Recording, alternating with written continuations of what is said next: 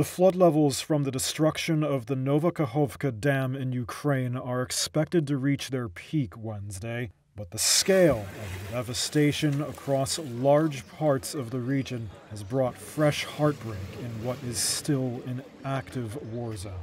It's now threatening a new wave of homelessness, disease, toxic chemical contamination, and even warnings of floating landmines in this ecological disaster. This is the city of Kherson, which was once occupied by Russian forces before Ukraine's military retook it. It's where Reuters camera crew found this resident, who's saying her grandmother is trapped on the first floor of a building with her cats and dogs.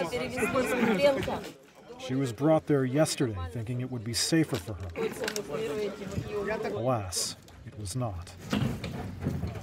Elsewhere in the city is Irina, an animal rescue volunteer. She says her group has already recovered up to 30 dogs. They're trying to save whatever animals they can. But first, they need to wait for a boat so they can go out and save more. Russian state media are reporting that although the water levels may have peaked, the floods are expected to remain for up to 10 days. The long term damage is another matter. Ukraine's government says the destruction of the dam, which it blames on Russia, is threatening to leave hundreds of thousands of residents without access to drinking water.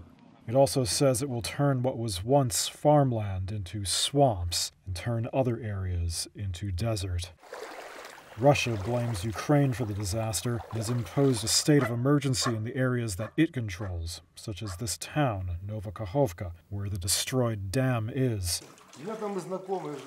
Resident Valery Melnik's home is flooded, but he says he won't leave. He wants to stay, he says, because the war can't go on forever.